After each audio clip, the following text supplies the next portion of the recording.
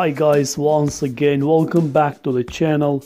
Watch as Tottenham star Erik Lamela scored another brilliant goal for Tottenham in their match against rivals Arsenal on Sunday.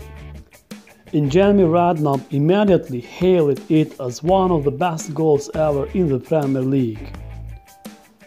Erik Lamela scored a fantastic rabona but was sent off late as Martin Odegaard and Alexander Lacazette Arsenal stars, who have scored goals, secured the three points for Arsenal.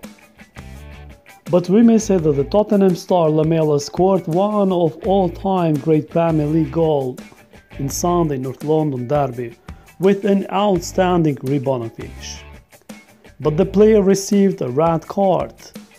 The Spurs star began the match from the bench but was called into action after just 19 minutes when Son Heung-min went down with hamstring injury.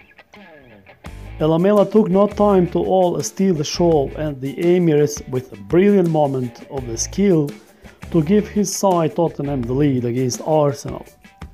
However, during the second half, Lamela cost his team a red card as he was sent off for his challenge against Arsenal star Tierney. Jose Mourinho was visibly annoyed with his player after he hit Kieran Tierney in the face for his second yellow. But fans also went crazy with a goal on social media that Erik Lamela scored but was later signed off. Thank you for watching. In support for Gunners like the video and subscribe the channel for more.